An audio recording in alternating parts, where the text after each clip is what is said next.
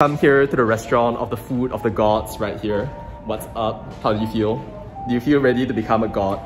Not really. Thank you. Welcome. What you have here is a bunch of kids about to eat at Malaysia's best restaurant. I wanted to thank my student Jarell for helping me with a recent workshop. That we planned together.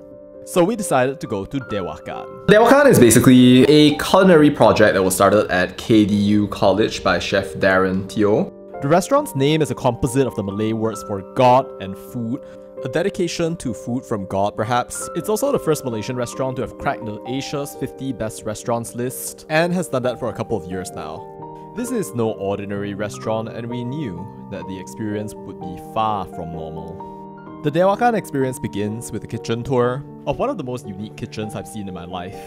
We had the honor of being welcomed by Chef Leng, our dry kitchen. It's very different from most of the kitchen parts as well. a cornucopia of molecular gastronomy, unique ingredients, sights, smells, visions of the delicious and the ridiculous intertwine, unfailingly with a local twist. Get all our ingredients are from our sea, from our farm, all around us. The wood is from Perak. This is uh, white mango, so inside of Perak is white. It looks like gigantic potato. Yeah, it's not like potato. When I first learned about Dewakan, I immediately thought of the legendary Noma, at which Chef Darren served as a stagiaire in the past, and that like Dewakan is famous for its focus on local ingredients. Our concept is uh, using uh, local produce. Got so it. we have uh, most of our produce are all around from Malaysia. Yeah, as well we learn a lot from our native. Okay. Uh, we learn about the jungle produce. And they help us to flourish a lot of ingredients as well. As our kitchen tour came to an end, it was time for dinner to start. Yo. What do you think about this place? Interesting place, huh? Right, so from here, Mitchell will take care of you guys. Okay, thank you so much.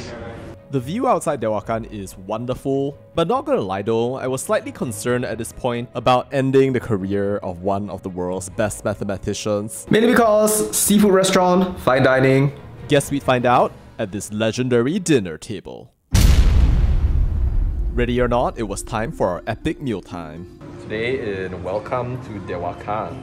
Apparently, Dewakan makes its own hand sanitizer. This one had vodka and cinnamon vibes. An interesting prelude to our strange and interesting menu. Or maybe I should have said menu since they had modified J's. So our friend right here has an interesting and unique menu. Let's have a look. Whoa. What on earth?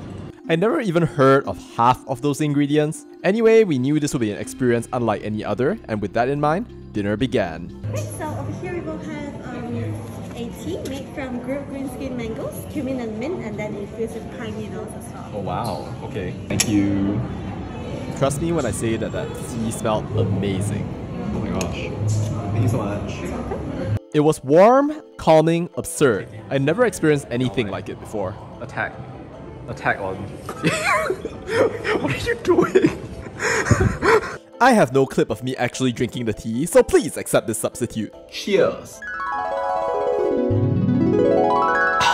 Wait, where am I? Jokes aside, it was actually awesome. A wonderful palate cleanser and a prelude to what was to come. First was Jay's plant forward replacement menu, which was a shock.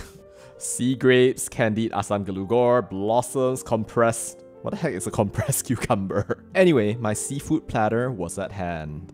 We have it from uh, Semporna Sabah. We are lightly steam the clams. The liver we make into a clam remoulade at the bottom.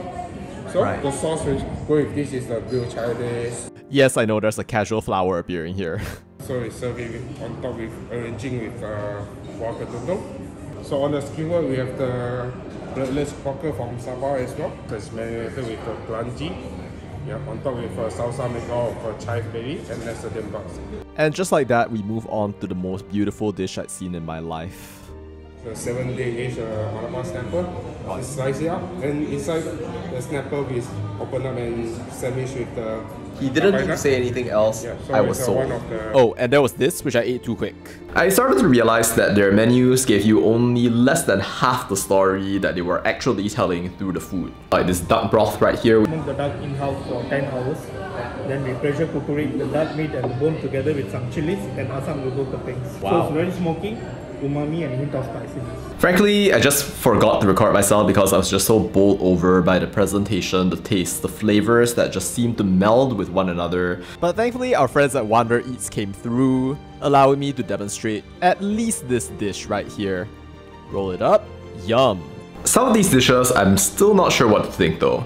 For example, these delicious greens, yes, but uh, And then on the side there, we have a dipping that we call uh, fresh milk curd with a lamb brain. Lamb what? A lamb brain. Very interesting. All safe, don't worry, no zombie here. then there was this. This was like an NPC dish amongst the main characters, so let's skip that. And you said that this is a duck tongue dumpling? Yes. Not bad, but not exactly a main character dish either. Not bad, not earth-shakingly wonderful. If we were to use One Piece to describe this dish, this would be Sanji. But speaking of One Piece, that all changed because my next dish was exerting some serious conqueror haki. Thank you, that was awesome. So what you have over here will be the uh, tender crayfish. Crayfish sauce is from east of Malaysia. So uh, it's uh, caught from the sea, so it's a bigger piece of the crayfish. So we wrap with the bamboo leaf, so the turmeric leaf.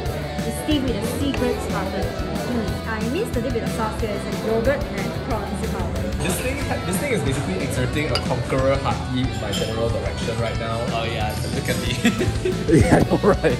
This thing was heaven on a plate, perfectly spiced, aromatic, delicious. An absolute testament to the wonders of Malaysian seafood. Meanwhile, Jarell ate Bambi. Ready for the trauma, friends? Okay, and this one was lion's mane mushroom with egg. Eggs underneath, we can uh, pick out the egg yolk, we coat it with some of the sweetener vinegar. We put diced meat or duck sausage. We just top Hey, fine, damn it. You have conquered haki too. I get towels are like exuding like King's Haki. And finally, it was time for the most epic dish of the evening. But first, for context, a trip back in time. one only. One only. Yeah, so you have uh, you can have a smell for this.